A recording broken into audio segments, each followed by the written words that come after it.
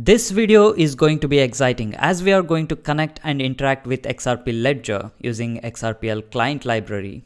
So let me comment this out and we don't need this and hence we don't need, okay, we don't need all these things. Let me import XRPL client and then create an instance of it. So if no argument is provided here, the default endpoints this library will connect to is xrplcluster.com. If it fails, it falls back to xrpl.link and then s2 ripple finally if nothing works. And if you have your own WebSocket URL, you can pass it as a string or else you can pass an array with multiple endpoints to be used in that specified order. Now let's create a method called main. Uh, let me even call it because most of the time I forget to call it and wonder why it's not working. So most of the methods on client are, are promises. So I'll use asynchronous method here. Inside main, I'll simply console log some message, maybe inside main or something like that. So observe here, when I execute this script, look at the speed with which this message gets output to this window. It's almost instant, right? Now let's use a method on client which returns a promise. So I'll use await keyword client.ready. It only returns once it connects to the ledger. We won't output anything here. We are just going to observe the time it takes to connect to the ledger. Now it's taking couple of seconds.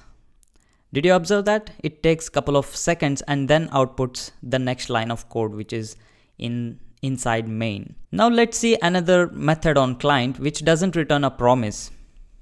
So client, the method is getState. It has information about ledger and we want to fetch the last ledger. So this doesn't return a promise. So let me output the result here and remove this or comment this line of code. Now let's execute the script. And it returns 0 which is wrong result. Maybe it's trying to execute this line of code before the client is connected to the ledger. So let me remove the comment and execute it once again. And maybe it's giving right result now. Let's check that with the actual ledger information present on this XRP Ledger Explorer. So now let me rerun this script and see if it returns the last ledger number. Let me pause this and the last ledger index number is same. So let's try that once again and it's returning the exact result. That means it's working. So let me expand it so whenever you are using a method on client which doesn't return a promise, you better use client.ready method before it so that it doesn't throw unexpected weird kind of errors. Okay, so that's why we use client.ready. Now let's learn about one of the important methods on client object which is send method which takes object as its first parameter and this send method is the is how primarily any application communicates with XRP Ledger to fetch the data. It returns promise by the way. This send method looks for a field called command inside this object. Today we shall see a command called account info. This should be written as is. It also takes another field called account obviously to fetch the information about this account we pass in here. So let's ask the account information from the user. So process.argv, this is at position 0, this is at position 1 and this is at position 2. Let's ask for r address now. Okay.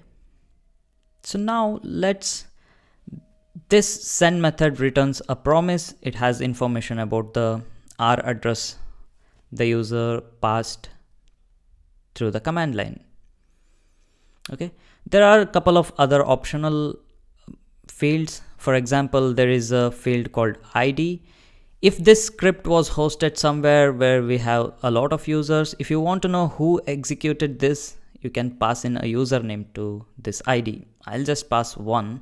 Now one more important thing to think here.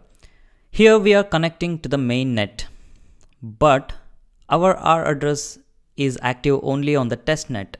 So we need to connect our script to the test network let let us see what happens if we try to fetch the information of this address on main network.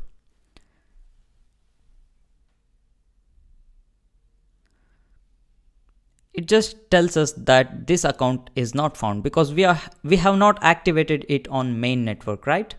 So let's get websocket url of a test network server and then pass it to this xrpl client library which connects to this test network now let's rerun the script with the same r address which we have activated on the test network this should output some information about this address. And as you can see, it outputs some of the informations, uh, which we will see shortly.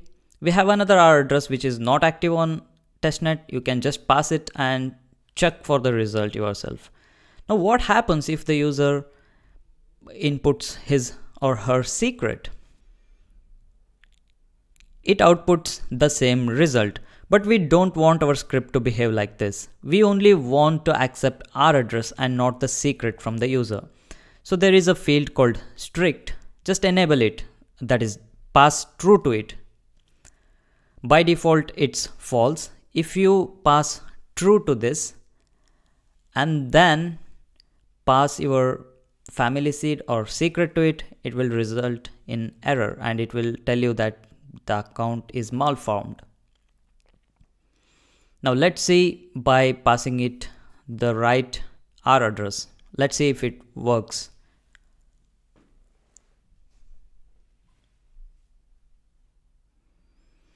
As you can see, it works when you pass it R address and not your secret. But what if when the user enters wrong R address? It just returns account malformed error, but we can handle this more gracefully using a helper library. Let's import utils method and let's check the user input inside main method before executing client.send method. So if utils, I think it has a method called is valid address. Yes. As the name suggests, it checks the validity of the R address we pass to it. So it returns true if the R address is valid. So if it's not a valid R address, then let us output some message to the console that is invalid R address and then exit the process.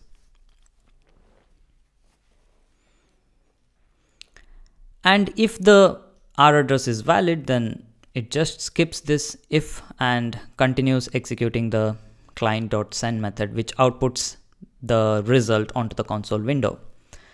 So this is the right R address which prints out the result by the way. Now let us remove the 9 from the end of this address. So it clearly outputs invalid R address.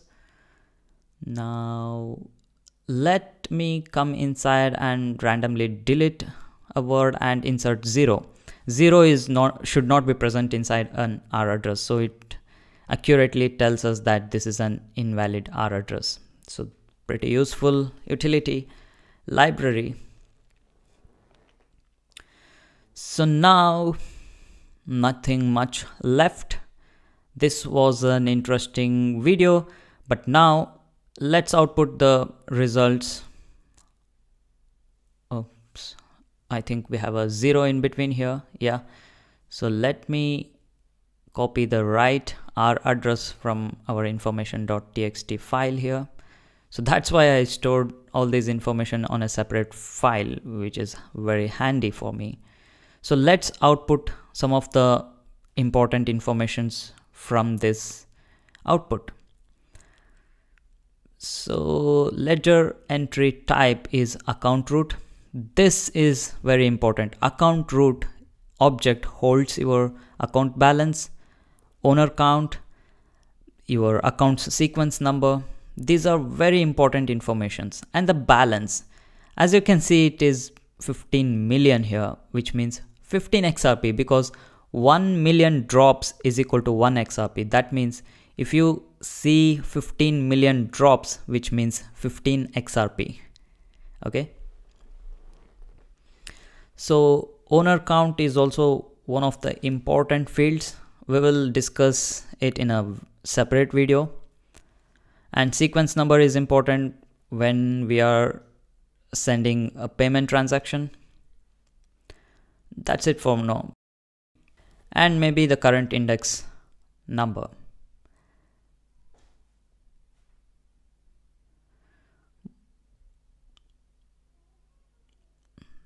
Now let me clear this and execute it.